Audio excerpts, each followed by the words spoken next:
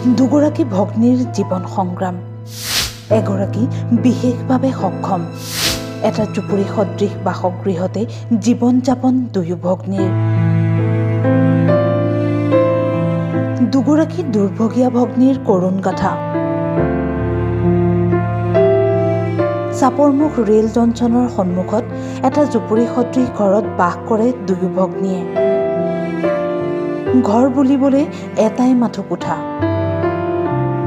তাতেই দুৰ্বিষহ জীৱন যাপন কৰিছে দুইগৰাকী ভগ্নীয়ে।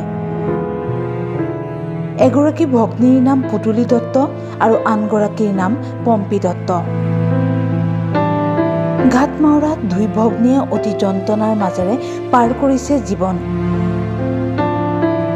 জ্যেষ্ঠ ভগ্নী পুতুলি দত্ত বিশেষভাৱে সক্ষম। একমাত্ৰ বিচনাখনেই তেওঁৰ সংগী। পম্পীও শাৰীৰিকভাৱে যথেষ্ট অসুস্থ। শাৰীৰিক অসুস্থতাৰ বাবে উপাৰ্জন কৰিব নোৱাৰে তেওঁলোকে। কোনোবাই যদি সহায় কৰিছে তেনেহ'লে এমুঠি খাবলৈ পাইছে দুয়ো ভগ্নীয়ে। অন্যথা ভোকে লঘোণে পাৰ কৰিছে দিনবোৰ। সেয়েহে দুৰ্ভগীয়া দুই ভগ্নীয়ে এতিয়া ৰাইজৰ লগতে সহায় বিচাৰিছে মুখ্যমন্ত্ৰীৰ। অকণমান সহায় কৰি সহায় কৰি দিব। মই বহুত কষ্টে আছোঁ দুটা ভণ্টি। একেলগতে আছোঁ, তো ঘৰ বাৰীৰো বহুত কষ্টত আছোঁ, ঝামেলা। আমাক অকণমান সহায় কৰিব কলটো বনাই দিব আৰু ঘৰটো ঠিক কৰি দিব। আৰু আমাক অল্প টকা পইচাৰ সহায় সহযোগিতা কৰি দিব, মালপত্ৰ। হ্যাঁ মুখ্যমন্ত্ৰীক।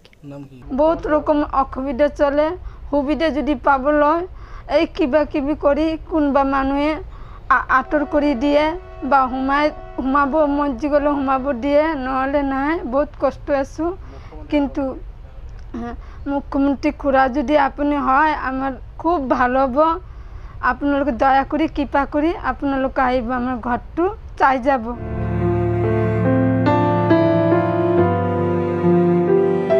ৰহাৰ পৰা ইন্দ্ৰ কুমাৰ নাথৰ ৰিপৰ্ট, টাইমী।